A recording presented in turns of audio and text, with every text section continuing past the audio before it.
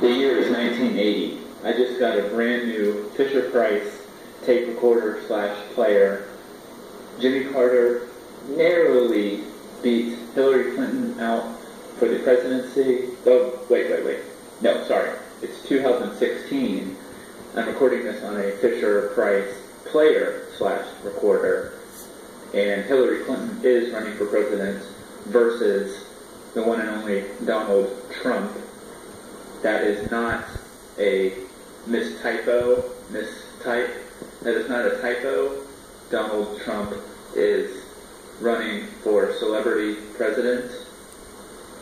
And this recording is happening in 2016. Fisher Price.